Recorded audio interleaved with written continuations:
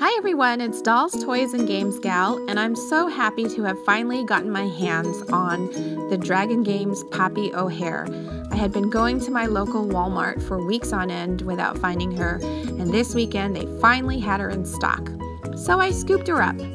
The back of the box shows us her really cute artwork with her cute dragon. She does come with a dragon whose name is Brushfire, and Brushfire's dragon magic is fire breathing, which I thought every dragon did by default, but okay. And she's got a special heat armor defense and a cloud comber flying trick.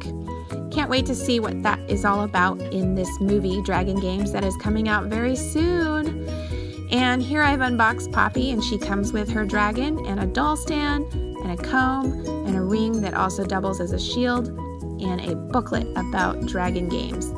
Checking out the booklet first, you can see a picture of Brushfire as well as a picture of what a dragon arena looks like. On the flip side, the rules of dragon games and a little note from Poppy about how special Brushfire is.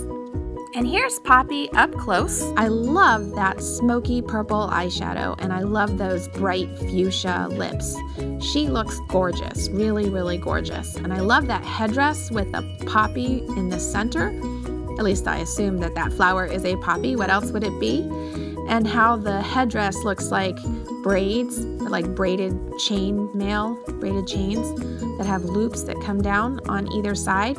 Again, as a nod to her heritage as the daughter of Rapunzel. Her hair is super gelled and stiff.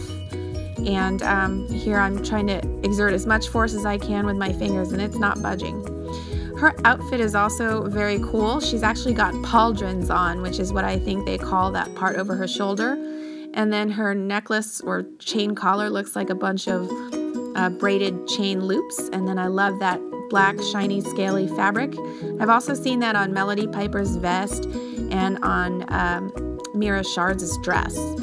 And the belt has a scissor emblem on it, and it's super convenient because you can fit her into the doll stand easily and it's uh, she's got on underneath that a flaring open skirt that is made of a transparent purple material.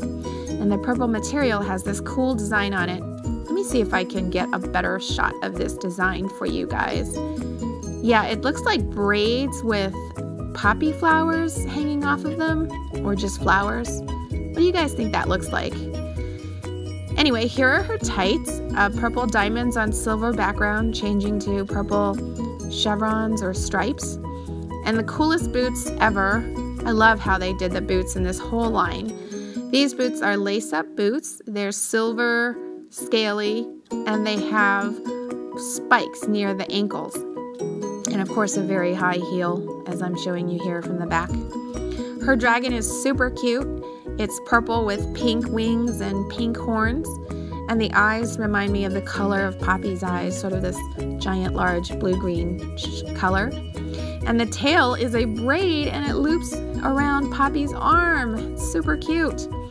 Poppy's wearing a vambrace on one wrist with a scissor detail on it. Here I rotated her arm around so you can see the other side. And next, let's look at her shield. It has the initial P on it for Poppy. And you can also see this little loop in the back where Poppy can insert her fingers and hold it as a shield.